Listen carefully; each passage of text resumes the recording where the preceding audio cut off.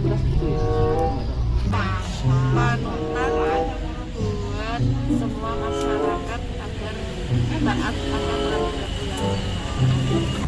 menjaga ketentraman. Ya termasuk juga membantu pihak aparat hukum misalnya kejaksaan gitu ya sebenarnya itu harus bisa mengemban amanah undang-undang. Pokok kami tetap melindungi, melayani, dan mengayomi masyarakat sehingga ketertiban, kelancaran, dan uh, pemeliharaan Kamtipmas bisa terjaga. Kita menjadi garda terdepan saat ini bersama TNI dan juga pemerintah dalam hal menanggulangi wabah virus COVID yang sudah hampir dua tahun ini terjadi di beberapa lapisan.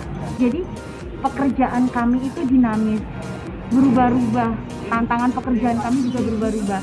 Kami ini polisi sahabat masyarakat, polisi sahabat anak, polisi sahabat bangsa.